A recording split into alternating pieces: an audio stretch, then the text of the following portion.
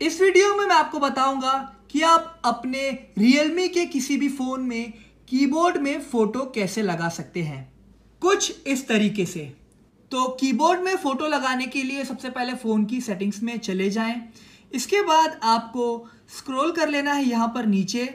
आप यहाँ पर देख पाएँगे एडिशनल सेटिंग्स इसे क्लिक करके ओपन कर लें। कीबोर्ड एंड इनपुट मेथड पे यहाँ पर क्लिक कर लें। इसके बाद आपको जीबोर्ड का ऑप्शन दिखाई देगा, इसे क्लिक करके ओपन कर लें। अब आप यहाँ पर देख पाएँगे थीम का ऑप्शन इसे भी आप ओपन कर लें। देखिए, यहाँ पर प्लस के आइकन पे आपको क्लिक करना है। अब आप क्या करें, आप कोई भी फ़ोटो डाउनलोड कर लें। या तो अगर आपके फ़ोन में ऑलरेडी है तो यहाँ से आप ढूंढ सकते हैं कहाँ पर आपकी फ़ोटो है। तो मैंने यहाँ पर ऑलरेडी यहाँ पर एक सलमान खान की फ़ोटो डाउनलोड करके रखा हुआ है। तो इसे आप एडजस्ट कर लें, ठीक है? जूम कर लें या जैसा भी आपको रखना है और यहाँ पर नेक्स्ट कर लें।